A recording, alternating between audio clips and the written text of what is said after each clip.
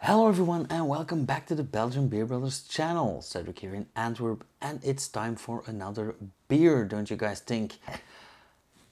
Well, I sure do. Uh, so today I'm going for a Marzen style beer by brewery Turia in Valencia, Spain. Now I'm not going into detail what Marzen is, I will talk about that later on in another video. But I will tell you about this beer. I first encountered this beer when I traveled to Calpe in Spain to climb the Ifach, a small mountain in the sea.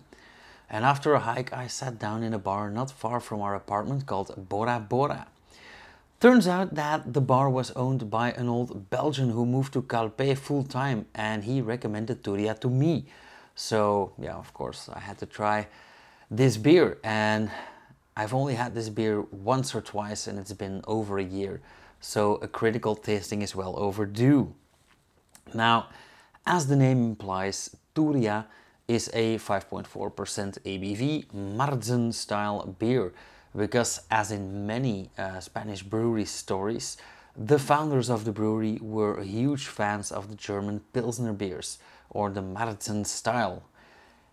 They recreated it but with a Spanish twist and by now you might have guessed it, uh, they used some toasted malts or maltas tostadas in it. The Turia Marzen is in fact the only beer from the Turia brewery that survived uh, since its foundation in 1935 and it has been off the market not once but a few times. And the last time quite recently until Damm bought the company and relaunched the Marzen in 2013 with a huge marketing campaign and keeping the original logo. More on that in the Turia Brewery breakdown somewhere in the foreseeable future. Now, these days you can find Turia in many a bar in Spain and ever so often we can get our hands on, uh, on one of those here as well, uh, especially when friends bring them over from their holidays. Now, Again, uh, as usual, I do love this graphic design. It is very simple, it is very black and white, mainly white, with a lot of detail. Uh, they have some red and gold details, the gold being the logo, the, the Torres, but we will talk about that in a later video. And in very, very subtle red, it has the Tostada stamp over this, but for the rest it says Turia Marzen Cerveza Tostada Valencia 1935. So Marzen beer from Turia, uh, Tostada beer and founded in Valencia in 1935. Reflejos rojizos, recuerdos a cereal tostada y notas cítricas. Fresca e ideal para acompañar nuestra gastronómica. So basically, um, yeah, brewed with toasted malts and uh, has notes of citrus and ideal to accompany the gastronomy of Spain or Valencia, uh, that region in particular. Now, if it has toasted malts and notes of citrus, uh, yeah, I would pair this with fish. But First of all, let's find out for ourselves. By the way, on that bar, the, the Bora Bora in Calpe, um, imagine my surprise when I found out that the owner was not just an old Belgian who moved over there, but also an old friend of my father. Uh, so I did visit the bar more than once and played a lot of pool there. of course accompanied by, let's say, some beers. Okay, not entirely the color I expected. Uh, I expected this to be very much uh, more pale, but it does have a lovely, um, yeah, orangey caramel color. The foam isn't white at all. Um, for some reason, uh, my memory fails me. I actually uh, remember this beer as being a light pale pilsner, a pale ale, um, or actually a lager. But nonetheless, um, this doesn't have white foam, it has beige foam, very outspoken, a lot of carbon dioxide in there, very carbonated. Um, but like I said, lovely color, very lovely surprise. Uh, fascinating how our memory sometimes fails us.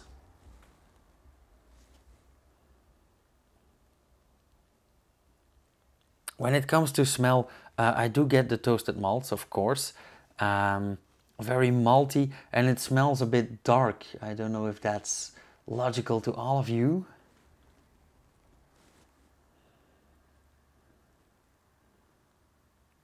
Yeah, um,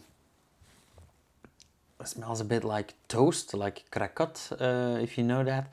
Uh, a bit stale, but I don't mean that in a bad way. This is actually more pleasant than it sounds. Uh, yeah, very grainy. Now, I do seem to remember that this is only brewed with barley. Yeah, cerveza especial contiene malta de cebada. So it is a barley-based beer. But based on the smell, I would actually say that there are more grains in this beer, which is quite fascinating. And just by that discovery, I am already um, yeah happy that I'm trying this again. Uh,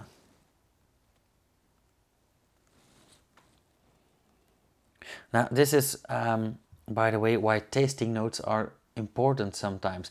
And I must admit to my shame that I keep not enough tasting notes, um, not even in Untappd. And I actually have uh, complete books to keep tasting notes and I should use them more often. I think that some of those books only have like five pages filled out in them. Um, it's a habit that I have developed in school and, and at work, but actually in private I never kept that habit going. But actually I should, um, and I actually encourage each and every one of you to keep tasting notes. Uh, I often wrote tasting notes on a coaster or a beer mat uh, by a lack of, of my book and, and my yeah, papers. But see this as a incentive for myself to keep them again. But nonetheless, we have a beer here that is, uh, yeah, craving for a tasting, and honestly, so am I. So, cheers!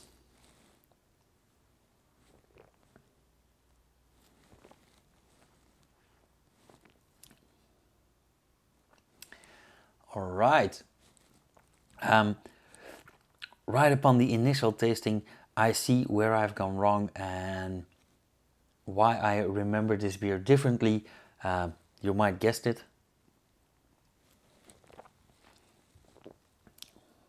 I remembered a different beer. Um, I remembered a nice pale Pilsner beer and this isn't. Um, I had a few beers at that bar, and I don't mean many beers, I mean some different styles of beer, and apparently I remembered the wrong one. Nonetheless, this is a rediscovery for me. Um, I must say that this beer, despite being relatively sweet and not so bitter, um, this reminds me a lot of not not only a Marzen style, um, which it is, but also a Special Belge like a Bolleke De Koninck, uh, for example, or a Viven Special Belge. We, we have different brands, but this does remind me more of that. Uh, again, it is, I'd say bittersweet, but maybe this is more sweet bitter. Um, we tend to put the dominant flavor first. Think about sweet and sour sauce uh, from a Chinese restaurant. So this is quite malty, this is quite sweet.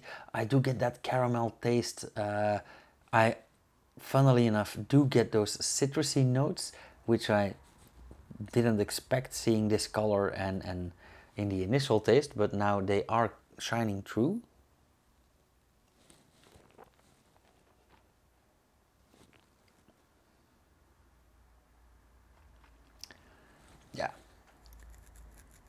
Quite sweet. Actually, sweeter than I like, um, but nonetheless, a nice beer.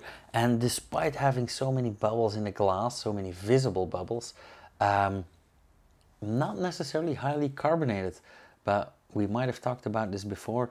Having a lot of bubbles uh, can be a sign of impurities in the beer or in the glass, like 90% of the time in the glass.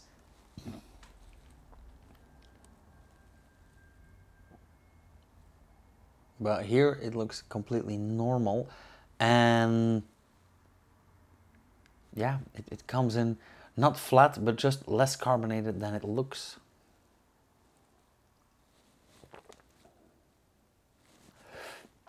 Now, as I said, um, this is not a bad beer at all. This is not what I expected, but don't worry.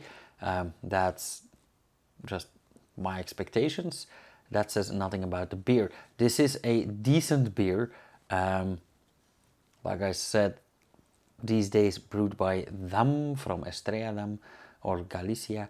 But yeah,